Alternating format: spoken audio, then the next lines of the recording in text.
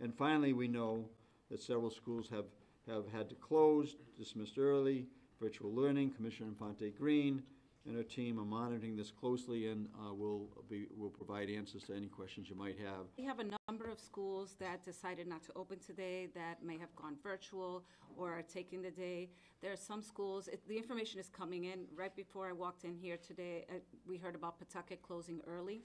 So we have a list. We can give you that at the end so that everybody knows. But parents, please be aware that um, you will be getting notifications from your schools directly. But we will get, we will make sure that there's a list. Para los padres, las escuelas se están comunicando con ustedes.